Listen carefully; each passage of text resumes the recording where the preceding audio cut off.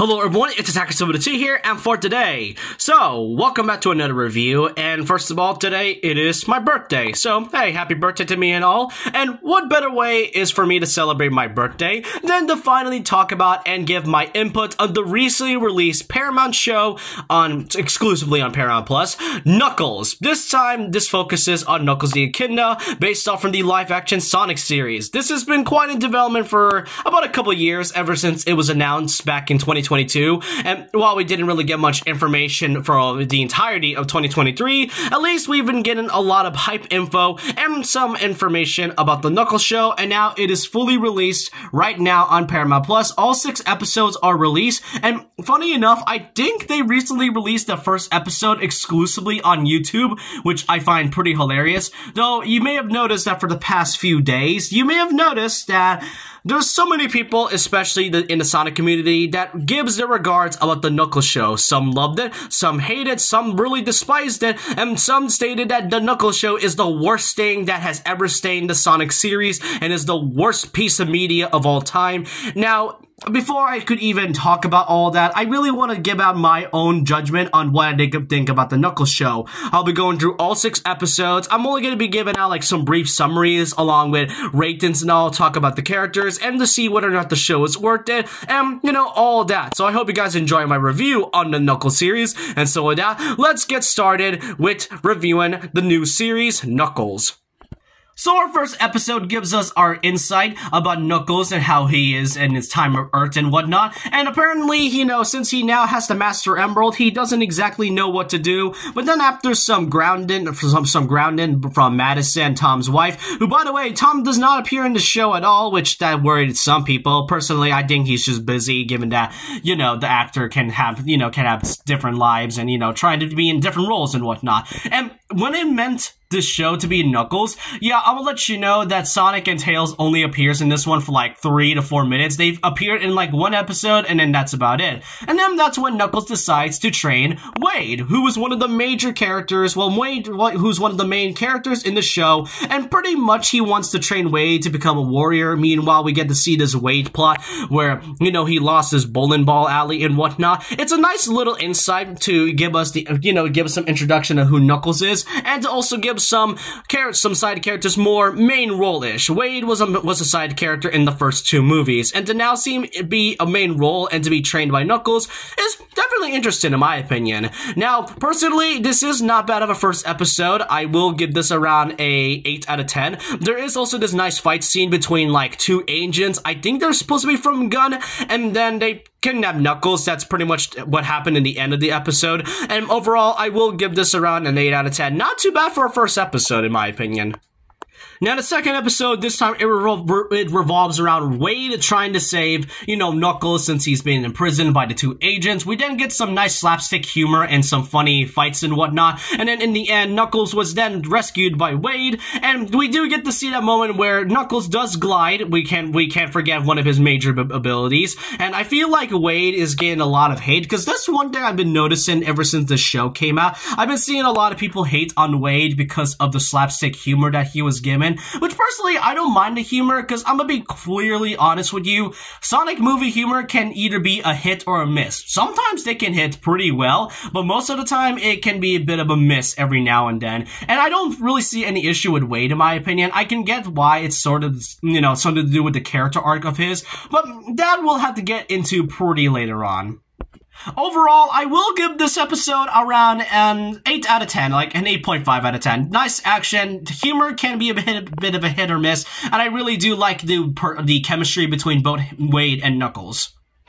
Now we get to episode 3, where this time it revolves around Knuckles along with Wade meeting, oh, and along with Wade and his family, most notably his mother and sister, who by the way, you may have noticed that, you know, Wade's sister, whose name Wanda, is very hated in the entire show, or in so the series. I will talk about that later on. It was mostly going through, you know, some, you know, family dynamics, family issues between both Wade and Wanda, and how we also get to learn about Wade and his, you know, issues with his father father, which it was mentioned in the first episode, but I didn't exactly talk about it until now, because this mo mostly goes more insight on Wade's family. And then in the very end of the of the episode, we then get to see a nice, well done fight with Knuckles and and Wade's mom literally beating the crap out of these goons of all things, while also trying their best not to blow out the candle. That is genuinely one of the funniest, but yeah, well done fights, especially how it was angled and how the choreography was well done, in my opinion. Now, really, I do find Wanda a little bit irritating, and I really do like this overall. Best episode, in my opinion, around a 9.5 out of 10.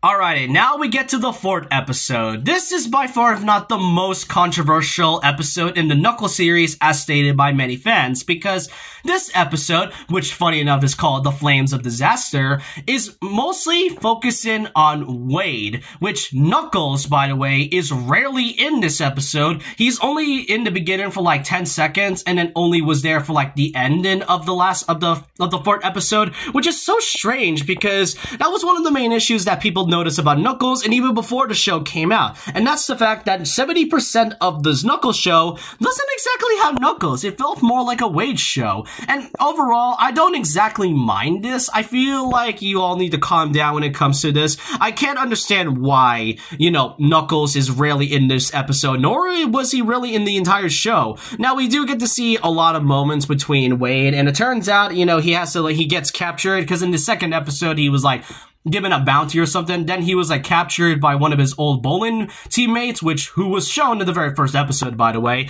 And then in like some type of dream, we get to see, you know, Wade meeting Pachacamac, which yes, that is exactly how you pronounce his name. I do not know why it was pronounced that way, who by the way is the head of the Echidna tribe. It is nice to see him like twice. He only appears in the show at least twice being the first episode, and in this one, sort of a way of Wade's spiritual mentor, which I too kind of find great. But then we also get this episode with a weird song, along with Wade literally wearing a Knuckles outfit, and this specific image. You know what this is? This is Iblis. I'm not kidding. This is indeed Iblis from Sonic 06. The fact that they made an entire puppet just for them to make a joke about Facebook is strange, I will say that. And then in the very end, Wade and, you know, his partner then gets some type of like, I think it's like a javelin fight or something like that. And then once that, the episode ends with, hey, at least Knuckles, we do get to see an explanation of how Knuckles gets his iconic treasure hat, which unfortunately only appears for like the, like, the, last few seconds and also the first few seconds of the fifth episode. So yeah, this is the controversial fourth episode, The Flames of Disaster, which I can see why the title is like that, but I don't mind it whatsoever. Some jokes definitely feels weird, but I really am a little bit, you know, kind of confused on why this episode rarely has Knuckles in it, even though the show is named after him. So I guess I will have to give this a 4 out of 10 in my opinion. Now for the fifth episode. This time it mostly focuses on Wade and his father, who by the way is an antagonist. It turns out that, you know, you know, we thought that Wade and his father was finally gonna be, you know, great and, you know, reconcile their relationship as, you know, father and son and whatnot, given that, you know, Wade's father left him and whatnot. And, but then they betrayed him. He betrayed them by basically kidnapping his wife and daughter and then, you know, trying to sell out Knuckles to the two agents who, yeah, by the way, are back in this one. And then Knuckles, and then pretty much ends with, with a cliffhanger of Knuckles going inside the elevator. Overall, not too bad. I did get bored to some parts with the pistol whip and Wade stuff. Overall, uh, it's about a 5 out of 10. Last but not least, the final episode. This time, it focuses a lot on the fights this time. First of all, we get to see Knuckles fight off against the two agents, which, by the way, Knuckles apparently wore AirPods in his dreads. I'm not sure, does Knuckles even have ears under his dreads? I- am kind of confused about that. Anyways, after some fighting and all, we then get to see Wade and then his father doing some bowling matches and all, and then that's when Knuckles gets beat up by the main antagonist of the show, being the buyer, who was like a former associated with Eggman. I think, I, am sorry, but I really am kind of finding that whole main villain thing really boring because the buyer rarely appears in the show for like 10 minutes. He appears in like the first episode and then, you know, appears again in like the, I guess the second episode, and then afterwards kind of appears the last time for like the final episode overall. I do want to say that when the fight comes in between Knuckles and the buyer, and then the music kicks in, that's where things peak right there. Along with Knuckles' new ability, the Flames of Disaster. And then after that fight, Knuckles then, you know, manages to win. Wade also gets his trophy, trophy and beats his neglectful father. And then that's overall the Knuckles show. Not too bad. It is not, it is not bad of a final send off. So I will give this around a 7 7 out of 10. Overall, that's all six episodes. Yeah, you can tell there were some ups and downs on this one and why I stated the fans were really mixed about the show to begin with. But what about the characters? Well, let's start off with the main man, Knuckles. Even though he rarely appears in his, you know, literal show, Idris Elba and his performance definitely elevates the whole show a lot by giving Knuckles quite a well done. Even though he's sort of treated like a joke in this one, at least we do get to see some great moments from the fights and whatnot, and I do like his chemistry between not just Wade, but also Wade and his family.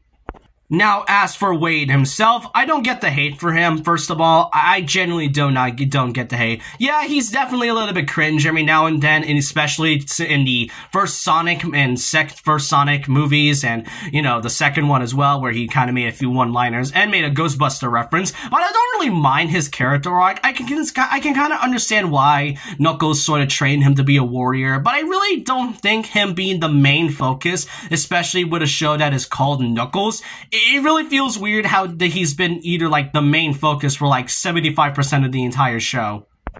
Then there is Wanda, Wade's sister. And now I really want to say this right now. For those that are, you know, trying, that are hating this character, you can hate the character, but don't send any death threats or hate towards the actress Edi Patterson. Let's be honest, if you're hating on an actress just because of the character they played, then just please stop that. If anything, she was only given what she was told, the script that she was given. But I'm well not, but I'm not gonna lie, I feel like they could have restrained her character a bit more because man, I can see why people don't like her. She was insufferable since her first appearance. Like, Wade is like a cop, like a small cop in Green Hill, while her sister is like the FBI and she acts all smug and snarky about it and acts all cocky every now and then. And when Wade was kindly enough trying to save her, his sister after, you know, his after his father betrayed him and whatnot, she still insisted by thinking because, you know, she's an FBI agent. I really don't like her character. It's even worse from the fact with during like the third episode, she literally stabbed Wade like in the arm. That is one thing. Why would you do that? I get sibling dynamics are different, but this right here, like, if you're gonna make her someone likable, at least restrain her in the third episode, because my goodness, she was really insufferable in the insufferable the entire series, especially since her first appearance. Like I said, do not harass or send any hate to, towards the actress. I don't like the character, but the actress does not deserve the hate just because of this one role.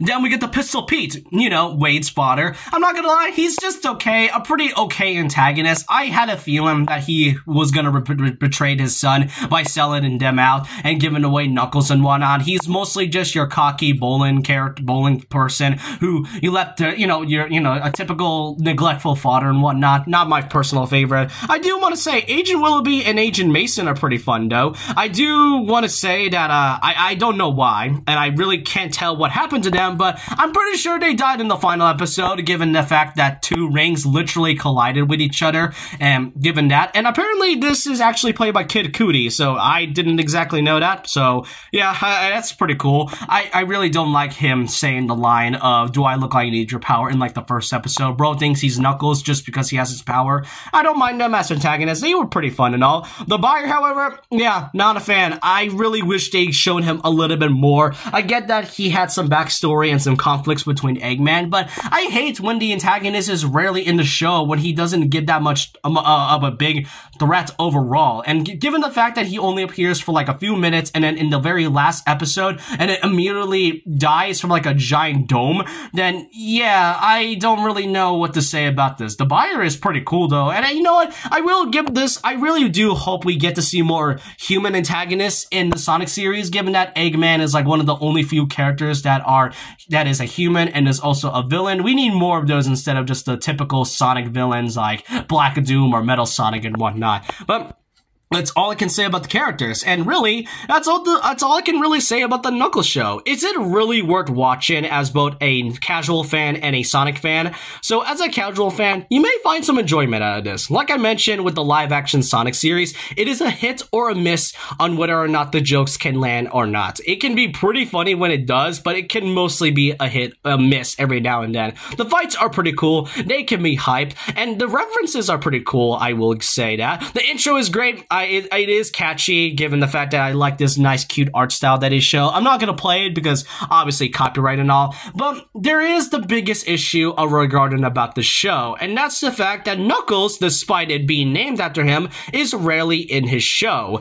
It, like it feels so weird that the show that was named after him, he doesn't even appear at all. And I see so many fans stating that, oh, this is the worst thing Sonic has ever done, or you know, this is the worst piece of Sonic media to ever exist. Even though we got things like Elise Kiss and Sonic or Sonic Prime season, like, you know, like halfway of season two and definitely the entirety of season three. We've had worse than this. And let's just not get a little bit overreacted. The Knuckles show is not the worst thing. It's pretty average in my opinion. And I can see why people were really angry about this. And you know what? Even though while some are angry about Knuckles rarely appearing in this one, I mean, is it really unreasonable to ask for a show that is supposed to be based off the character it's supposed to focus on? If anything, this feels more like a Wade show than a Knuckles show. Overall, it isn't really that bad. I will have to give the show a 7 out of 10 overall from the points of the episodes I've given. Um, so yeah, that's all I can really say about this. I hope you guys enjoyed this,